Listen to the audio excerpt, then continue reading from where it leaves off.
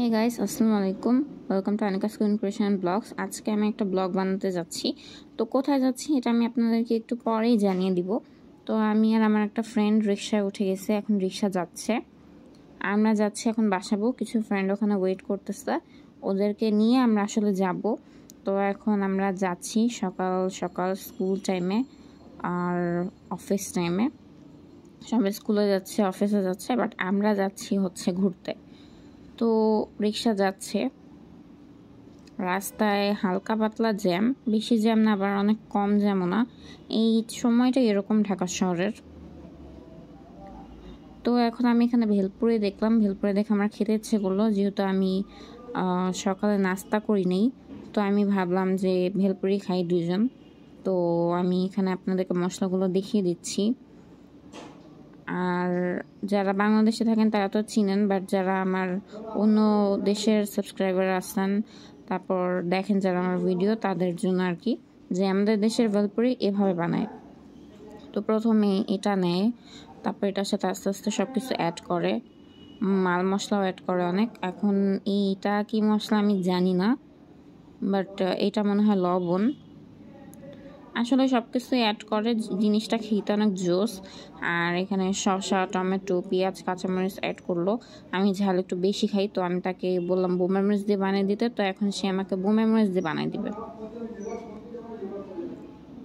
এখন সে একটা বোমা মরিচ নিল হাতে।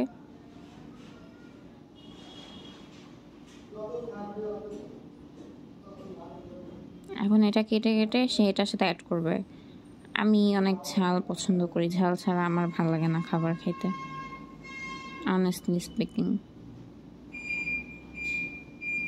আমি পারলে উপরে দেওয়াও কিছু মেমোরিজ মিলাই খাই। তাও এটা আমার কাছে তো ঝাল মনে হয় নাই। মিডিয়াম ঝাল ছিল।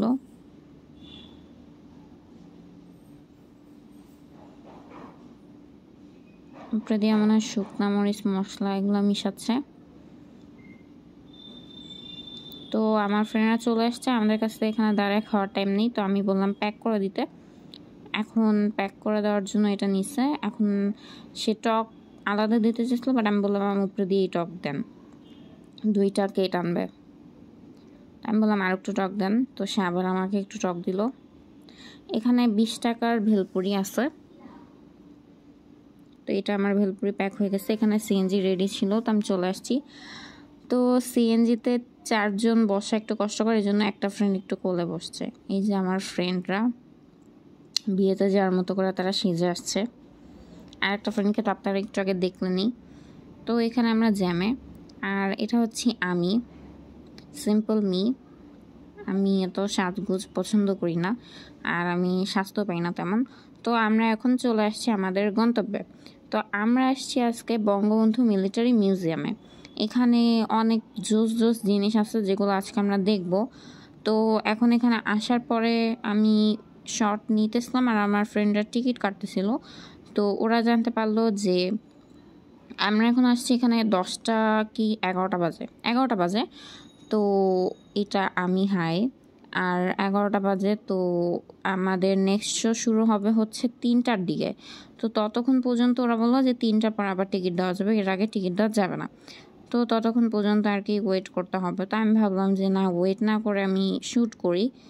আর আমি এখানে বেশিক্ষণ থাকতে যেতেছিলাম না বাট ওরা ইনসিস্ট করতেছিল যে দুইটা পঁয়তাল্লিশ থেকে টিকিট দেওয়া শুরু করবে। এখানে টিকিটের প্রাইস হচ্ছে পার পারসন পঞ্চাশ টাকা করে। আর আপনারা দেখতে পাচ্ছেন ওয়েদারটা অনেক সুন্দর ছিল। এরকম ওয়েদারে আসলে বের হয়ে ভালোই লাগে। তো পার পারসন পঞ্চাশ টাকা করে টিকিটের প্রাইস আর একটা শো শুরু হয় সকাল দশটার দিকে আর একটা তিনটার দিকে। তো দশটার দিকে যেটা শুরু হওয়ার ছিল ওটা শুরু হয়ে গেছে। এই জন্য আমাদেরকে ঢুকতে দিতেছে না। তো আমরা এখানে হাঁটাহাঁটি করতেছি, ঘোরাঘুরি করতেছি। আমি আর কি বসতে চাইনি বাট আমার ফ্রেন্ড অনেক ইনসিস্ট করল যে আসছি যখন ঘুরা যাই, এত দূর আসলাম। তো জায়গাটা অনেক সুন্দর আর আমি কিন্তু এটা বাইরে থেকেই শ্যুট করতেছি আমি এখনও ভিতরে ঢুকতে পারিনি। ভিতরে আরও সুন্দর হবে, আশা করি। তো বাইরেই আমরা এখনও বাইরেই আছি, এখানে ঘোরাফেরা করতেছি। তো এখন মনে হলো যে কিছু খাওয়া দরকার। তো আমরা যাচ্ছি আর কি খাইতে। মনে হয় খাইতেই যেতেছি না, আমরা যাচ্ছি আসলে বঙ্গবন্ধু নব থিয়েটারের ওদিকে। তো ওইখানে যে জানতে পারলাম যে ওখানে আসলে টিকিটের প্রাইস পার পার্সন দুইশো করে। আর ওখানে শুধু বঙ্গবন্ধুর ছবি দেখানো হবে ভিডিও দেখানো হবে। তো আমরা বললাম, থাক, এটা তো আমরা সবাই দেখছি, সবাই জানি তার ছবি কেনা দেখছে। তো যার কোনো দরকার নেই, আমরা স্টুডেন্ট মানুষ দুশো টাকা পার পার্সন ওইটার জন্য, এক ঘণ্টার জন্য খরচ করা আমাদের যায় না।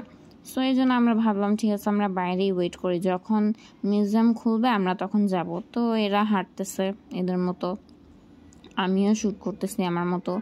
তো মাঝখানে খাওয়া দাওয়া করছিলাম।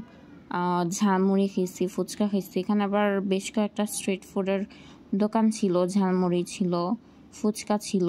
তো এটা হচ্ছে বঙ্গবন্ধু নব থিয়েটার আর এটার পাশেই হচ্ছে বঙ্গবন্ধু মিলিটারি মিউজিয়াম তো আমরা নব থিয়েটারে যাব না, আমরা যাব হচ্ছে মিলিটারি মিউজিয়ামে তো অনেক সময় পার করার পর অনেক অনেক মানে কি বলব, অনেকক্ষণ পরে আমরা ঢুকতে পারলাম তিনটার দিকে। অনেক বড় একটা লাইন পার করে।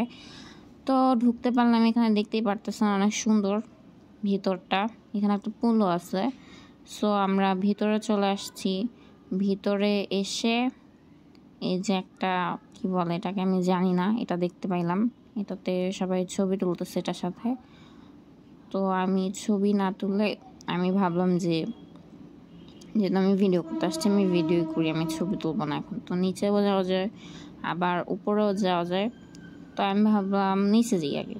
তো আমি ওদেরকে রেখে নিচে চলে গেছি। ওরা আমাকে খুঁজতেছিল মেদয়ে তো আমি নিচে যাচ্ছি। ছবি তুলতে অনেক টাইম লাগবে ওদের, তো ততক্ষণ আমি একটু ভিডিও করি আপনাদের জন্য। তো আমি নিচে চলে আসছি। নিচে এরকম দেখতে। জায়গাটা অনেক সুন্দর ছিল। আমার কাছে ভালোই লাগছে ঘোরার জন্য মানে দেখার জন্য, শেখার জন্য। একটা সুন্দর জায়গা, একটা খুবই পারফেক্ট জায়গা।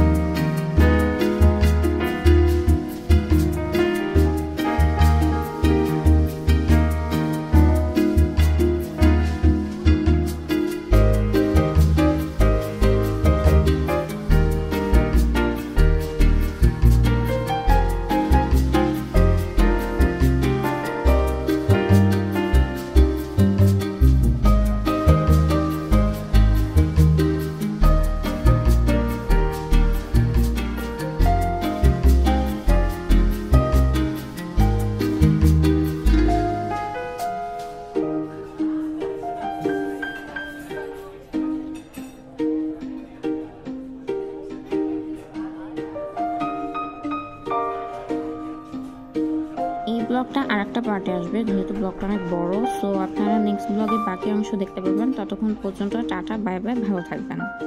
আসসালামু আলাইকুম।